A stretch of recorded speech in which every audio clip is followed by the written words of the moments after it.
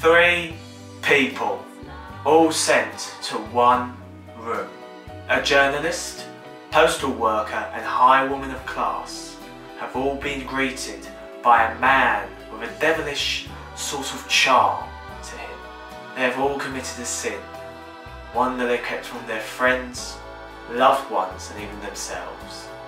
They were in hell, but no fire, no brimstone, just the three of them all trapped together in room 666.